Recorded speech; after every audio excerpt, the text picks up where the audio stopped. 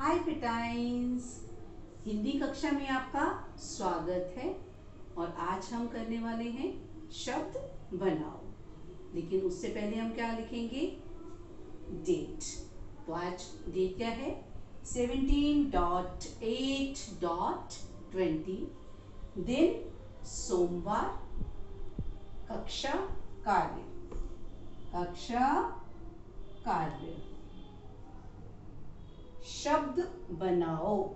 आपने व्यंजन और मात्राओं को जोड़ के शब्द बनाने ठीक है? प्लस का मतलब होता है जोड़ना। आपको मैम ने पहले भी करवा रखी है, ठीक है बेटा? तो आपने जो ये प्लस का साइन है, ये नहीं लगाना। बाकी व्यंजन ग, म, ल, आ, गमला। ग, म, ला,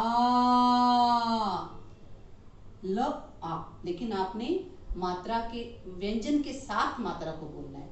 व्यंजन के साथ मात्रा को बोलना है। ग, म, ला, गमला। नेक्स्ट क्या है? क प्लस ई प्लस प्लस आ प्लस ब। और आपको मैम ने पहले भी बताया था कि जिस व्यंजन के बाद छोटी की मात्रा होती है, जिस व्यंजन के बाद इ की मात्रा होती है, वो उसी व्यंजन से पहले लग जाती है। जैसे क है, क। तो मात्रा कहाँ है? व्यंजन के, क के बाद। तो मात्रा कहाँ आ जाएगी? शिफ्ट हो जाएगी क से पहले। की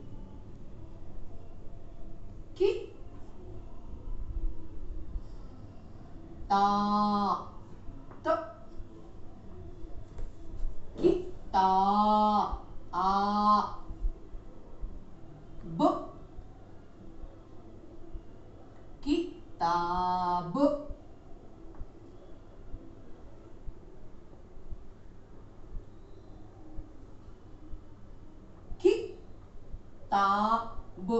ठीक है बेटा नेक्स्ट है त इ त ल, ई, त, इ, त, ल, ई।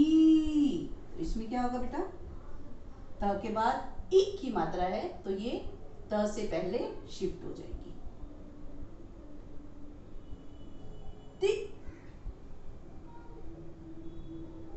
नेक्स्ट क्या है? तो। ली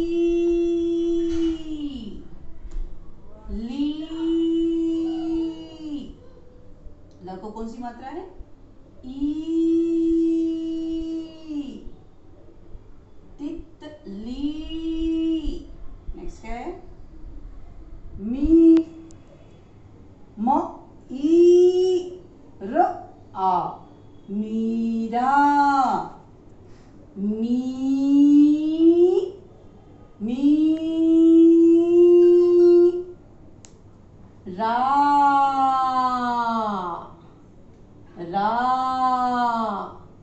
मीरा नेक्स्ट क्या है प प के साथ कोई मात्रा नहीं है।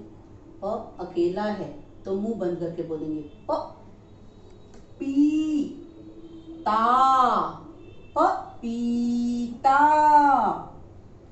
प प प ई पी पी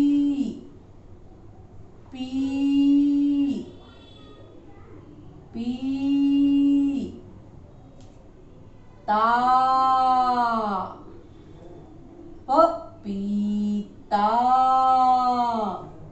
प त आ।